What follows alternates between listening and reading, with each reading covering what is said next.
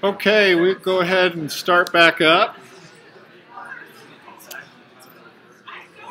So we just reviewed acid-base equilibrium and how to decide whether what's more acidic than the other.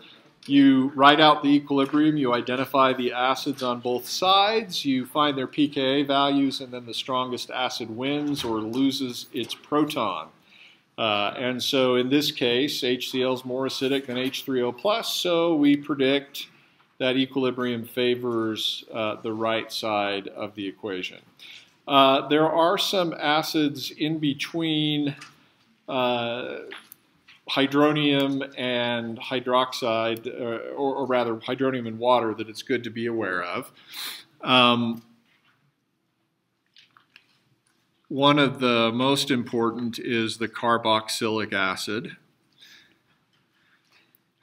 And by this we mean uh, a proton that's bonded to an oxygen where that oxygen's bonded to a carbon with another carbon on it.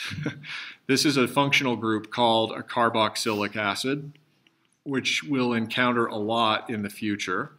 You may have encountered these, I think, in Gen Chem. Acetic acid is a classic example.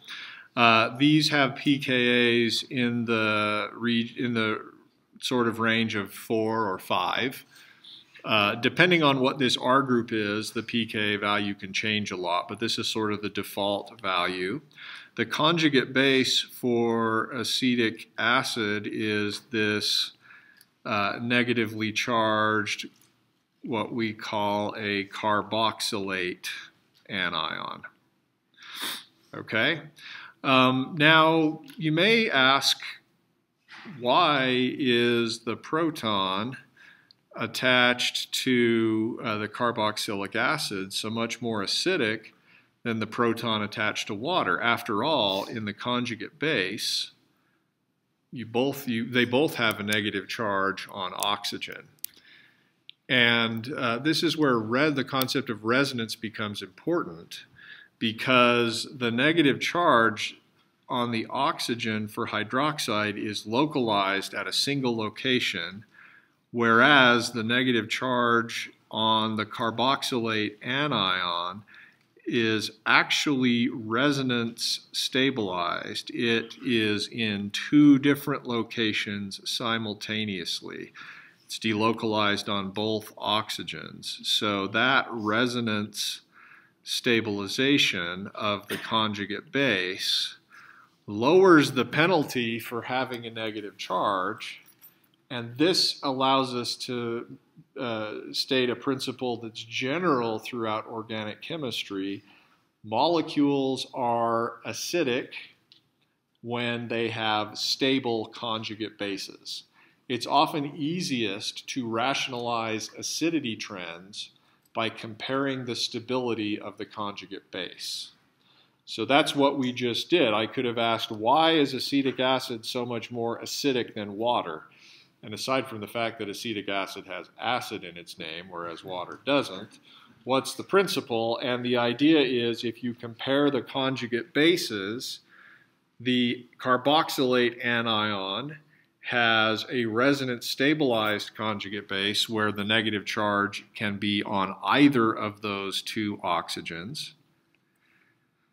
Whereas the hydroxide, uh, the conjugate base of water, just has a localized negative charge on that oxygen.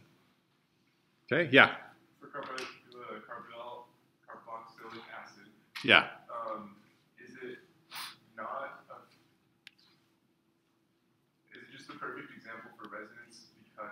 Carbon carbon bond has very little polarization. So the size doesn't really matter. Is it the is it a perfect example of resonance because uh, like say the carbon on the left where it's H H3C. Yeah. Um, if that was something else, would it make a much greater difference? Like okay.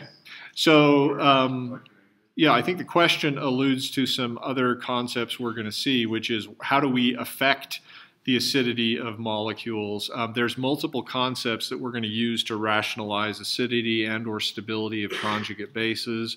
Resonance is one, electronegativity is another uh, size of the atom that bears the negative charge in the conjugate base is another. It just so happens that um, here we're comparing apples to apples because the atom identity and electronegativity is the same, size is the same, resonance is the only difference. Okay. Yeah. So uh, an, a related issue might be if we take this molecule, which happens to be called phenol, its pKa is around 10. And if we draw the conjugate base, sorry, and I haven't, we haven't spent any time at all on the rules of resonance. Those are in the introductory study guide, but they're really important and you should get really good at them.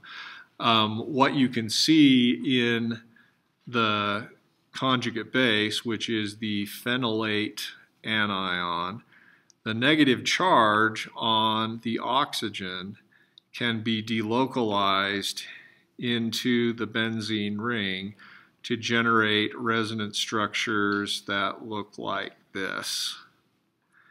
And of course, there are others. We can uh, move charge around the benzene ring in this fashion. And again, if this is looking confusing to you, please take the time to uh, review and learn how to do resonance structures. That's going to pay off greatly in this class. Um, you see here that because of resonance, we can delocalize that negative charge both on the oxygen and on these three carbons in the ring. Okay, well, then tell me why phenol is so much less acidic than the carboxylic acid. Go ahead. Because in terms of resonance, it's very unstable. It has very many uh, resonance structures. So having a lot of resonance structures is good or bad? Well, we're talking about chemistry. It's neither good nor bad. okay.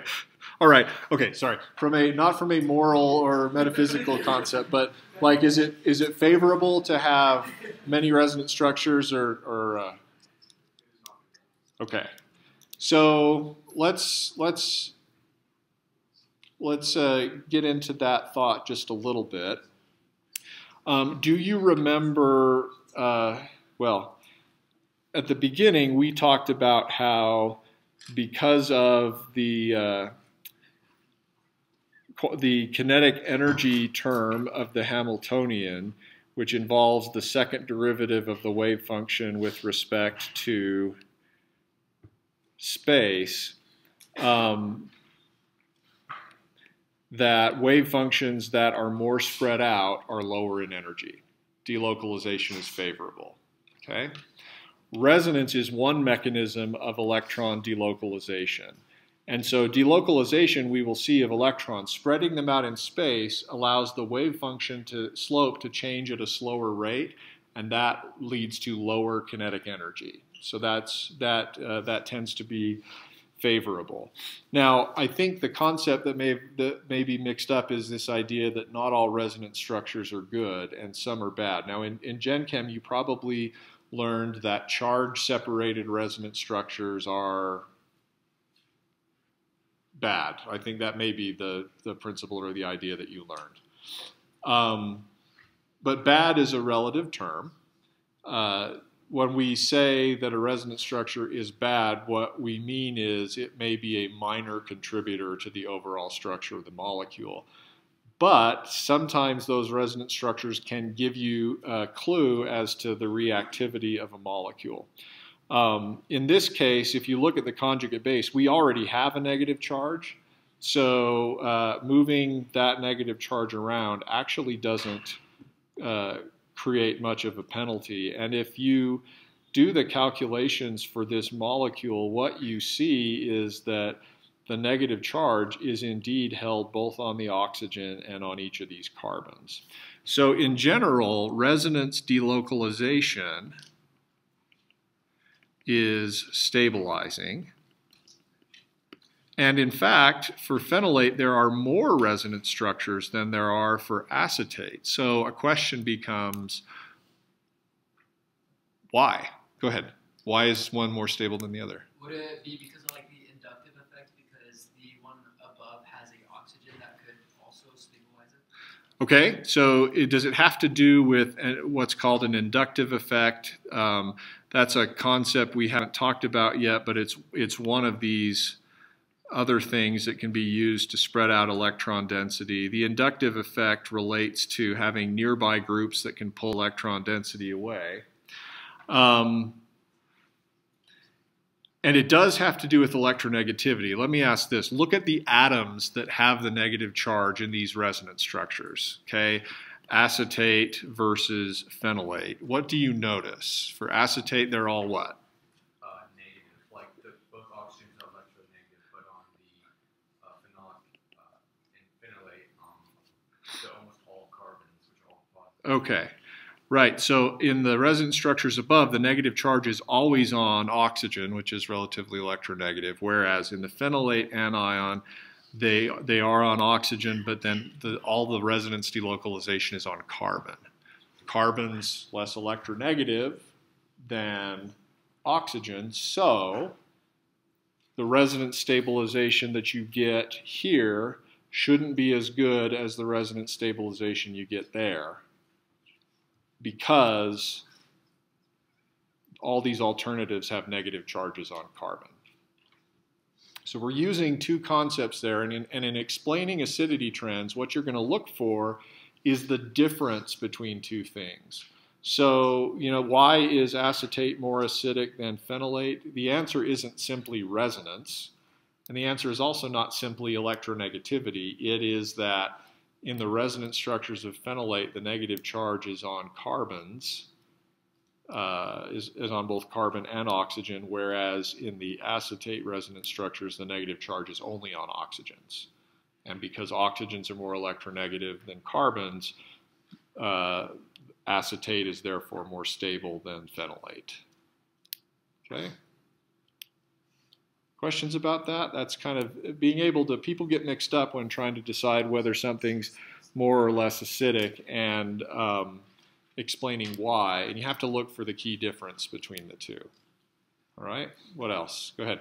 Um, why did why is like iodine more acidic than it's just one Ah, and it's not spread amongst okay. So why is HI, we could ask, why is HI so much more acidic than, than water?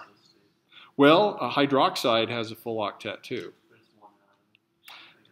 Yeah, so so let's actually do that. Let's compare iodide with OH minus. Um, okay, so and and that difference in acidity is huge. I mean, 16 versus minus 11. That's a factor of 10 to the 27 in equilibrium constant. So that's maybe more atoms than are on the Earth total uh, and possibly more stars than are in the universe, at least the universe that we can see. So, um, what's the difference? Well, if you look at, let's talk about stability of the conjugate base. If you go look up electronegativity values, I forget what it is for iodine, but it's extremely underwhelming. Iodine is about the same electronegativity as carbon. So actually, oxygen's more electronegative than iodine. So that can't be the explanation. Uh, and in fact, um, another thing that shows up with a pKa of about 4 is HF.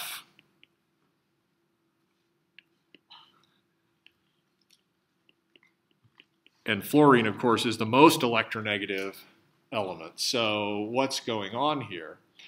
And that uh, you have to know something about uh, the periodic table and trends as you go from one row to the other. As you go down a column of the periodic table, size increases.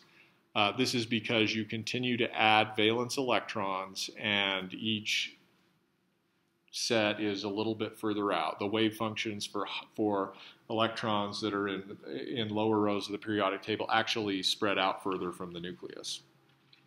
So if you look at the radius for iodide versus the radius for oxygen, oxygen's very small, iodide is comparatively large. Um, how can I illustrate that? Hmm. Let's go back to Spartan and let's see if it'll let me. It probably doesn't let me do negatively charged things, so I probably have to. There's water, and I want to show, let's see, space filling. Okay, that's how big oxygen is. Take mental picture.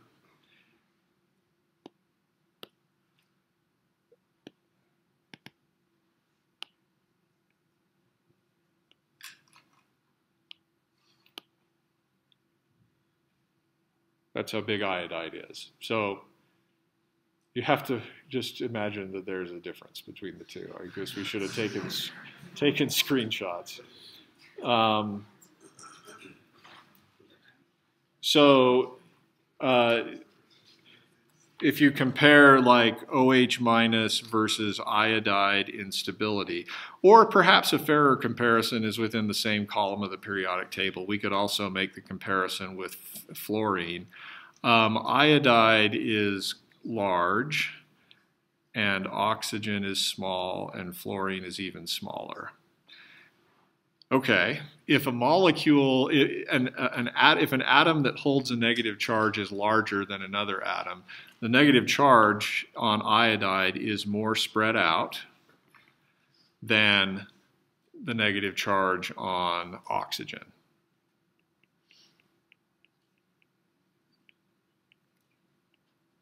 And that plays a greater role. And that plays a greater role than uh, than in this this comparison, uh, greater role than electronegativity.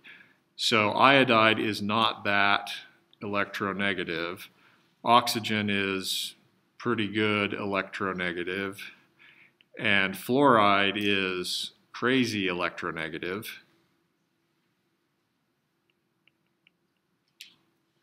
So uh, you can't rationalize the acidity of, of HI versus HF. pKa of minus 11 here for HF. pKa of 4. You can't rationalize that difference based on the electronegativity of the atom that holds the negative charge, but rather you have to rationalize it based on size. So if an atom and we're and we're be careful because we're only talking about the atom that has the negative charge. People mix this one up all the time and say, "Oh, well, that molecule is huge, therefore uh, the thing must be acidic." No, it's about the atom that holds the negative charge. If the atom that holds the negative charge is bigger, that negative charge is going to be spread out over more space and therefore be lower in energy. Okay.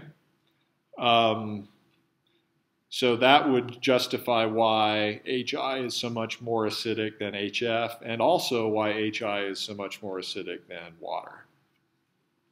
Okay? Does that make some sense?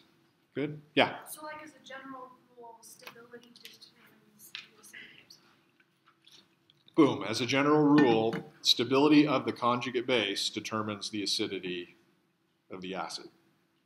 Yep. More stronger acids have more stable conjugate bases.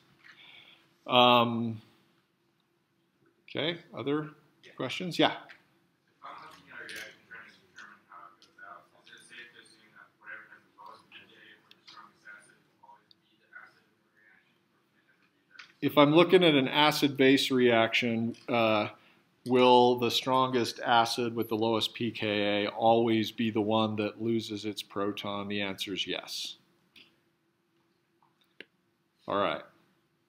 So there's some other uh, bases that are, or, or, rather other acid, acidic groups that are good to, to know, uh, especially in biochemistry and health related fields.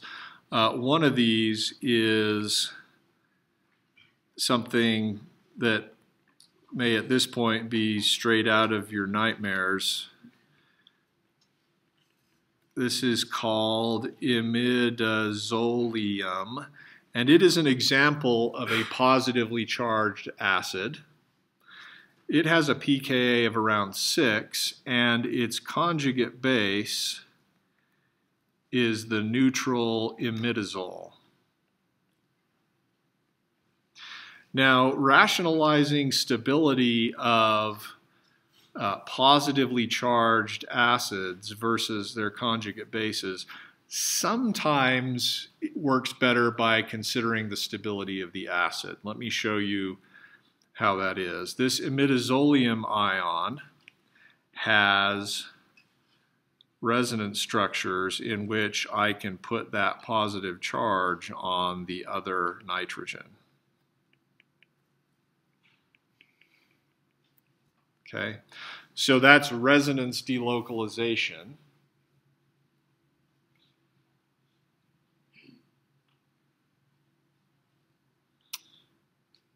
Uh, I forgot where I was going with that. So it's true there is a resonance structure, but there's no relevant comparison. I'm sorry. Um, stay tuned. We may come back to that. This is a this is a side chain on proteins. This is the uh, if you've ever heard of histidine or histamine, this group is found in those molecules. Um, okay, another type of molecule would be uh, what's called a thiol. Uh, let's just put a CH3 here. This is the sulfur version of an alcohol. Notice that sulfur's one row down from oxygen. Sulfur should be larger than oxygen. So go ahead and make a prediction. Is the thiol more or less acidic than an alcohol? The alcohol is, the corresponding alcohol would be like CH3OH. Think about the atom that holds the negative charge in the conjugate base, which is more acidic, the thiol or the alcohol. The thiol, because size, sulfur is bigger, therefore the negative charge is spread out, uh, and the pKa of that thiol is in fact around 8. Um, thiols are particularly smelly compounds. They used to be called mercaptans because they bind, the sulfur binds mercury pretty tightly. To this day, if you spill mercury, one of the solutions is to take some some just powdered sulfur and spread it around wherever the mercury is, and you can you can bind it up. Um, the thiol group is also a, a side chain for proteins. Uh, it's the cysteine side chain, and you'll learn more about that in 352. Um, okay. So on our tour through acids, we're now going to talk about the ammonium ions. And this is a source of never-ending confusion. And I, I, guarantee some of you, well, I hate to do this, but some of you will likely be in my office after the exam uh, wondering why you got a problem wrong. And it will likely be because of this issue. Okay, just sort of throwing that out there. Common problem people struggle with. Um, ammonium ions are positively charged, have positively charged sp3 hybridized nitrogens. So this is uh, one ammonium ion, and they have pKa's that tend to be around 11 the conjugate base of an ammonium ion is an amine. The place where people get mixed up, well, there's multiple places where people get mixed up, but uh, people have a hard time understanding what I mean by R. Okay? R is a general uh, abbreviation meaning that we could put a lot of different things here, but usually uh, R is assumed to be some kind of alkyl or hydrocarbon group, like, say, methane or ethane or some other hydrocarbon.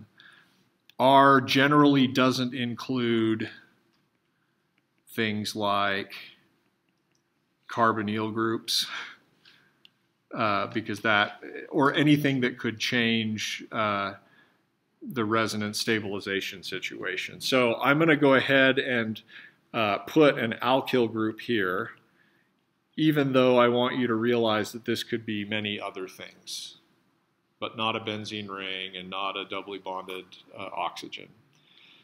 Okay, uh, there are, of course, we could replace any number of those hydrogens on the ammonium ion with an alkyl group, and that's not actually going to change the pKa that much.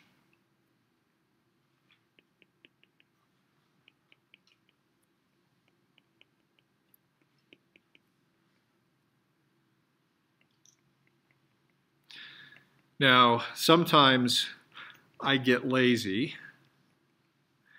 and I tire of drawing all of those things. So sometimes I might summarize that with R3N plus H. People get confused because they uh, they'll see this in a pKa table and they will only apply this number to things that have nitrogens that have three carbons attached to them and that's not what we mean at all.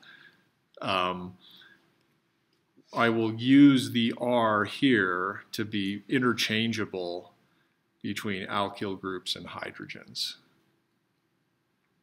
So if you see on a pKa table this with a pKa of 11, I just mean ammonium ions tend to have pKa's that are around 11.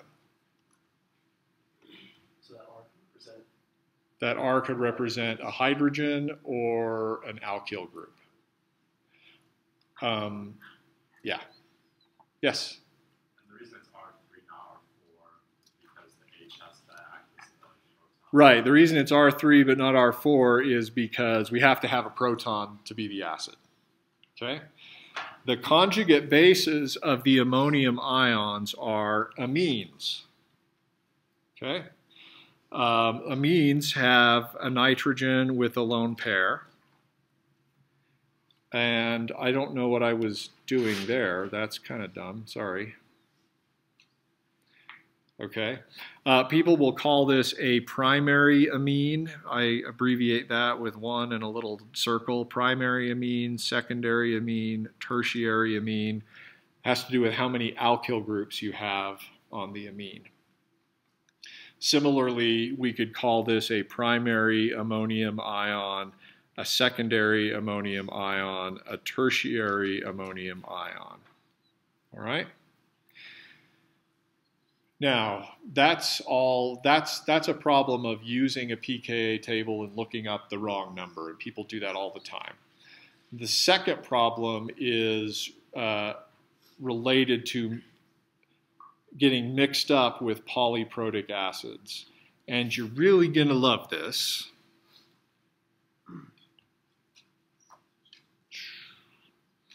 Because, as you notice, the amines also have hydrogens on them.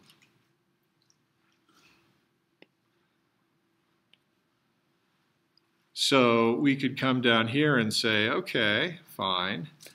What if the amine lost its proton to become an anion?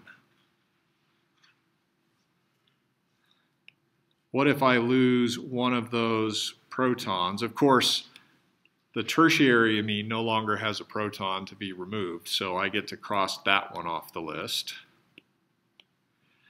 What if I lose a proton to get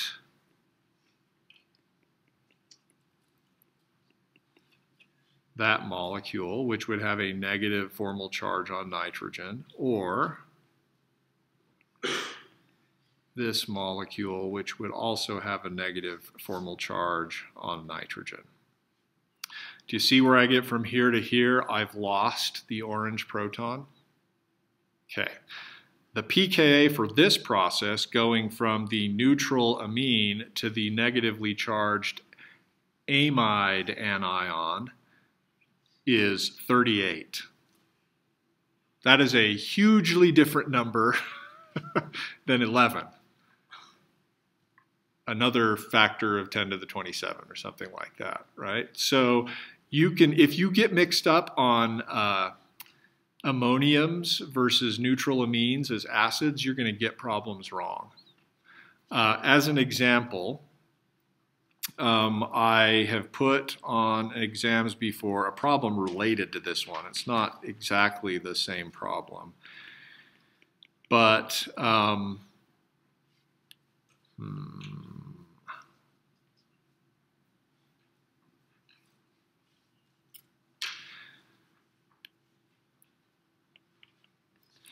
I have asked the question before, is hydroxide a strong enough base to remove a proton from this ammonium ion? And to do that, you simply draw the conjugate base of our acid on the right-hand side of the equilibrium, and you draw the conjugate acid of our base on the right-hand side of the equilibrium. Okay, acid, base. Now, of course, I memorized that the pKa of water is 16. But then I go to the table and I get confused and I write 38 here. Right? Then I conclude strongest acid wins its wins, which means it loses its proton, and I tell you that this side dominates at equilibrium. But that's exactly the wrong conclusion because the number 38 applies to the neutral amine losing its proton to become negatively charged amide anion. Here, we have positively charged ammonium cation losing a proton to become neutral amine. That pKa is not 38. Instead, it is 11. So now who's the stronger acid? The ammonium ion has the lower pKa. It is the strongest acid.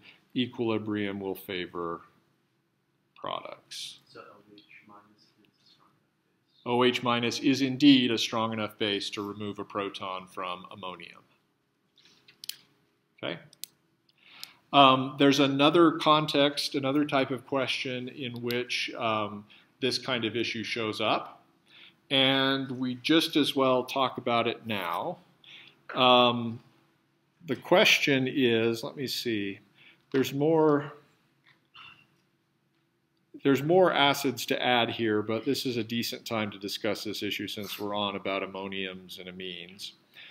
Uh, a related question is, suppose I have a protein or a biopolymer. And proteins have side chains, some of which are uh, acidic. So I'm going to draw this particular side chain, and we'll go ahead and put a few other functional groups on this protein. I'm not showing you what a protein is, you're just, you just have to accept that it's got functional groups on it. Um, all right. And I have asked before the question pH is 7. We're in a dilute aqueous solution of this protein. We're controlling the pH with some buffer such that pH is constant and does not change when we dissolve this molecule in the solution. So what that means is the pH of the solution is going to determine the state of each of these side chains. Uh, and so I've asked before, what should be the total charge on this molecule at pH 7? Which is another way of asking which groups have protons on them which groups do not. Let me put, just for fun, another functional group. Okay? How do you even make that decision? Um, based on pH, how do you predict whether the acid form or the base form of a particular acid should dominate? To do this, we are, we're actually going to go back to our expression for, P, for Ka for any given acid. And we have to be general here because this equation in, deals with a neutral acid going to a negatively charged conjugate base, but it could just as easily have been a positively charged acid going to a neutral conjugate base. We're just being as general as we can, acid versus conjugate base. Uh, now, when we defined pKa, we took the minus log of Ka, but if we take the minus log of this expression over here,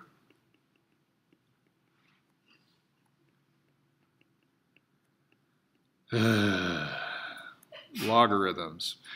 Um, properties of logarithms. What do I do with products and quotients? If I take the log of a product, I can also take the sum of the individual logs. I can't prove that. You got to go look it up, and Wikipedia will tell you that that's true. Um, so we could actually pull out the minus log of H3O plus, and then we could leave the minus log of A minus over HA in the parentheses. But this term is just pH, right? Minus log of H3O plus is just pH. Ah, I'm hearing whispers. That's the Henderson-Hasselbalch equation. Yes, it is. And you used it previously, but not in the, not in the way we're going to use it. Or, or maybe you did, I don't know. But the, the most common use for that equation in general chemistry is Apple Pencil battery is low. 5% remaining. Okay, well that means we've got 20 minutes. That'll work. Um, you've used it previously to say, I have, I want the pH of my buffer to be 7.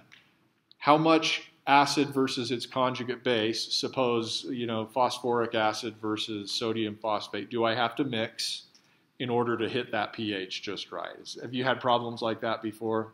You basically had to just use your calculator. Um, we're in a different situation here in that situation, the concentration of your buffer and the, the amount of acid versus base form determines pH. In contrast, we're now adding a, a, molecule to a buffered solution already. We're adding the molecule in a low enough concentration that it's not going to change the pH. The pH of the buffer determines the state of the molecule. Okay, so uh, what we can do for each of these groups is we can make the comparison between pKa and pH. And um, negatives sometimes are challenging to deal with, so we can use another property of logarithms and just take the reciprocal of what's in the parentheses. Okay. This is now a highly useful form of the Henderson-Hasselbalch equation because if we compare the pKa of an acid versus the pH of a solution, if whether that number is positive or negative should tell us whether the acid form dominates or the conjugate base form dominates. So what if we're in a situation where the pKa of our acid equals the pH? Then our equation becomes 0 equals the log of HA over A minus, or in other words, 1 equals the concentration of HA over A minus, or in other words, the concentration of HA equals the concentration of A minus. So if the pKa of your acid equals the pH of solution, you've got 50% acid form, 50% conjugate base form. All right. Uh, in contrast, what if pKa is greater than pH? Then we've got a positive number on this side of the equation, which should mean that HA, shoot, did I get it wrong? pKa is greater than pH. That means the proton is still on. HA dominates over A minus. Did I do that math right in my head? A logarithm of a number is positive when that number is greater than 1. Yeah. In contrast, if pKa is less than pH, that means I've got a negative number on the left-hand side of the equation so that A minus should dominate over HA. Okay, so um, you, you don't need to do the math or derive things. I mean, yay, we just der- derove, derive, derived, derove. I don't know. I've heard it both ways. Yeah. Psych fans out there, any? Yes, okay. Um, sorry. Uh, we've just derived this uh, Henderson-Hasselbalch equation. You don't need to be able to do that, but you do need to know this conclusion, which is we're going to compare pKa to pH, and that will tell us what, what form, uh, acid form versus base form dominates. So let's, let's work through that for each of these groups that are in our protein. And again, we would need to look at the pKa table. Uh, the, the groups on the bottom are actually really easy. Carboxylic acid has a pKa of 4 for this proton. The thiol, you could look it up in a table, has a pKa of 8. You would not find the pKa of an alcohol in your table because you've memorized it, and it is minus 2 is for the protonated alcohol or hydronium. Yes, 16 is the other number. Now, what about this group? This is something people struggle with um, because they look at that group and they say, oh, that's a neutral amine, so I'm going to go to the table and find the neutral amine acting as an acid. That's, and that pKa is 38 for the neutral amine going to the amide anion. Okay? Uh, but they forget about the other equilibrium, which is pKa 11. That's for the positively charged ammonium cation going to neutral amine. Uh, and I've drawn this molecule. You might you might ask, well, why didn't you just draw this as the ammonium ion? Well, um, because I want you to think about things, and also because probably this is the form you would, the neutral form you would buy in the bottle to dissolve an aqueous solution. Go ahead. Um, the way I kind of see it is that um, ammonium ions are typically uh, tetrahedral. Uh huh. So the amine has no lone pair and will be driven planar, right? Uh, no, the amine, the the regular amine, is also. I think the words you used in Gen Chem might have been trigonal pyramidal. The lone pair is there, so that nitrogen is surrounded still by four groups, still going to be sp3 hybridized. You could call it tetrahedral, but with geometry, we only count the atoms, not the lone pairs, so that's why it's trigonal pyramidal. But if you think about it as sp3 hybridized, that's just fine. Yeah? Question? No? Is that a stretch in the back? No? Okay. Can we just figure it out just by knowing the charge? Like if it's positive, it's an ammonium. If it's Yes, I mean if it's positive, it's you're dealing with the ammonium. If it's neutral, the amine. Negatively charged is the amide anion. The problem is most people see this neutral amine, and I'm telling you, you're putting this molecule that's neutral in pH 7 solution, and it's going to become charged. They forget about the equilibrium between neutral amine and positively charged ammonium. Right?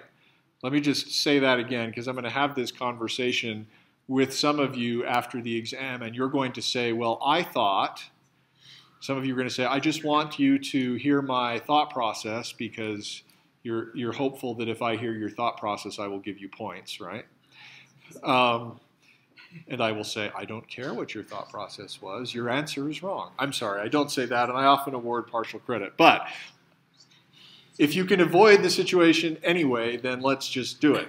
Um, you will tell me my thought process was that the pKa for the neutral amine going to the negatively charged amide is 38.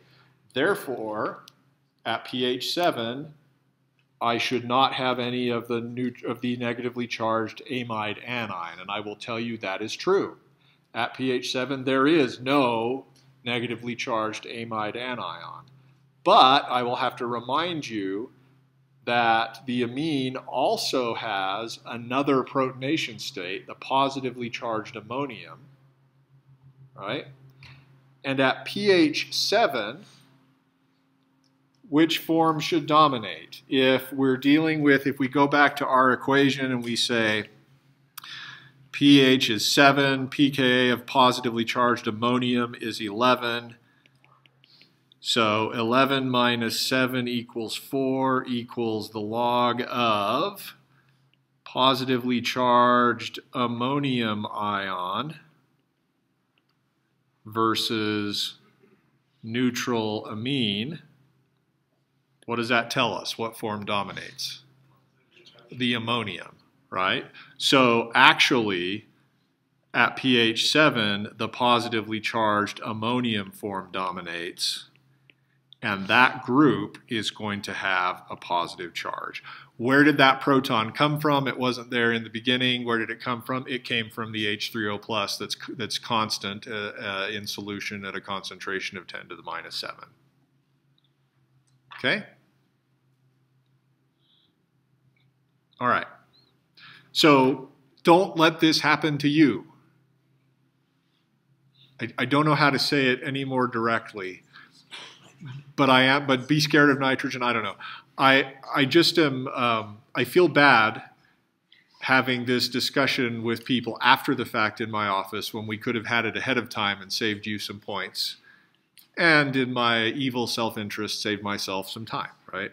So uh, don't do that right? In a problem where I tell you we're dissolving this molecule in dilute aqueous solution, and you look at the nitrogen and it's neutral, don't forget to consider the ammonium form.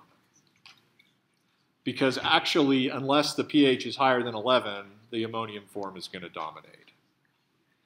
Why is that important? Whether or not a group is positively charged actually matters a lot in biology. You won't get to it this semester, but uh, when you take 352, it may come up. When you take biochem, it certainly will.